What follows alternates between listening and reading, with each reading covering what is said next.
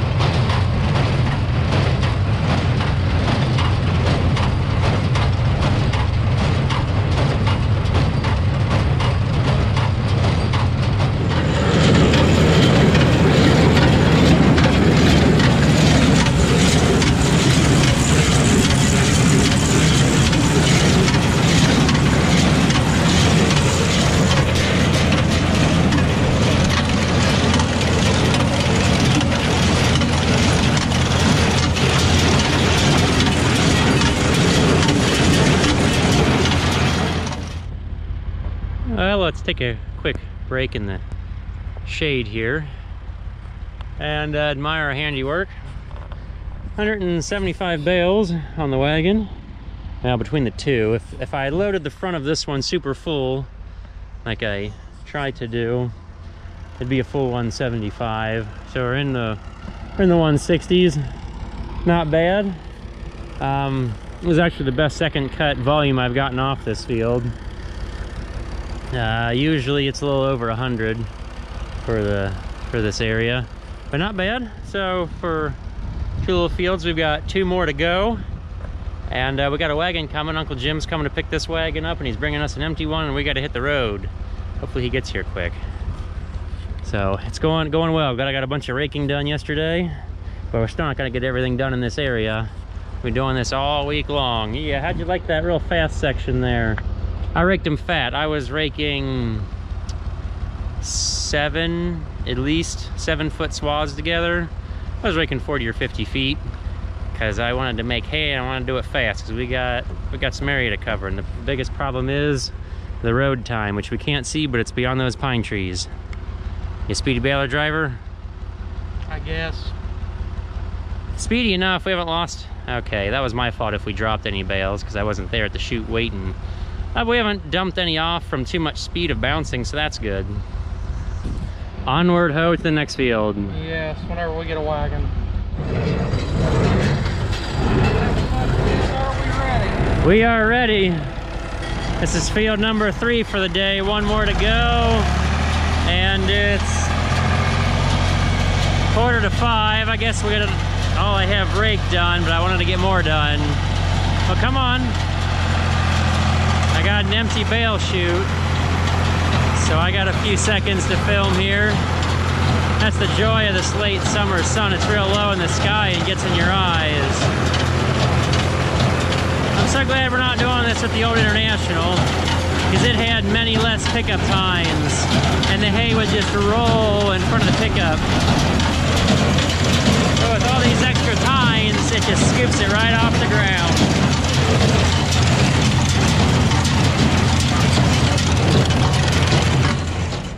We're done with field number three.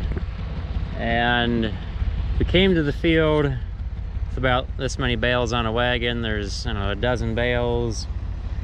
And, well, we have that wagon filled and have this many bales on a wagon. So in this, uh, I don't know if there's six acres here or something. Made 160 bales, so we're doing 25, not quite 30 bales per acre on second cut. That's it's not bad.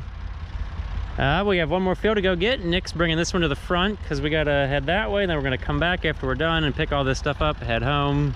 We're just having a big old hay party. Well, we're having another Boehm Farm hay ride. I'm sitting on top of 80 of the dreamiest bales of crabgrass. This stuff is so soft. I mean, I'd practically want to sleep on it. I might even eat it, not really. Nick's driving the 28, and we gotta come to the curve in the road, hang a lefty, and pick up another load of hay. And oh boy, we got an hour left of daylight to get home. I'm not gonna try to do more today because I gotta rake a bunch again, and hopefully like rake as we bale because I raked all this yesterday. Oh, I'm gonna have to get out and push. Good thing nobody's coming. Yep, there's another wagon load of hay. Yeah, but tomorrow we'll have another big hay party. We'll make Nick rake. I'll be driving baler. And then uh, I think we saw Sam earlier in the summer. He'll stack some. Oh, we made it. This gravel driveway is so loose I was afraid of not making it. Well, we didn't pick a low enough gear. But we're, we're, we're out of the road. We're out of the road. We got out of the road, that's all that matters. And we didn't spin on the driveway. Okay, so uh, I guess we're gonna take this mess as one and we're gonna throw the rake. We brought the rake along just in case if I got farther than I wanted to today. We didn't get as far as I wanted to. You know, it's just, you know, the way, the way my day goes. Had to deliver chickens this morning and, uh, you know, all the animal stuff. And finally, after lunch, we got rolling. What? What'd you forget? My few in the back. Never seen him run that fast ever. Are you happy now? Yep. Uh, what makes you so happy? My you in the back. Oh yeah, you're gonna lose like half your face. It's gonna fall off. Oh well. We're home before it's totally dark. We might as well see all the hay. We saw the 80 bales there. This wagon load and the wagon load in front, about 400 bales for the day. How was the drive home? cold. Yeah, Well, about the end there, hey, we could have. I've been coming home from mowing and it's been nine o'clock and it's been dark, dark. Yeah, I know. That's cold. Well, everybody's coming home with loads of something. We got hay and pumpkins out of the field. I guess that's what I missed while sweating over hay. Yeah, that's a good variety. There's obviously orange ones, not orange ones, cushaws, lots of color. Fall, fall, fall.